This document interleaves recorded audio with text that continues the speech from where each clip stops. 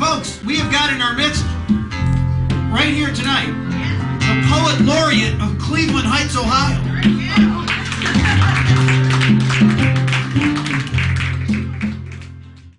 Improvisation. Sounds lonely as a bugle solo, but that distant howling dog tied out at midnight is sending messages to her that finally make sense. She feels each note.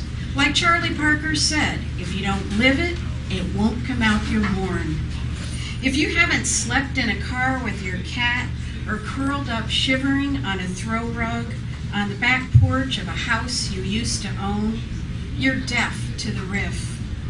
If you haven't knocked on a neighbor's door to borrow a cup of light, you won't recognize the tune. And you don't just blat out that your waltz partner has turned into a pedophile or that your coworkers are all thieves. You howl around the edges and hope the echoes do their job.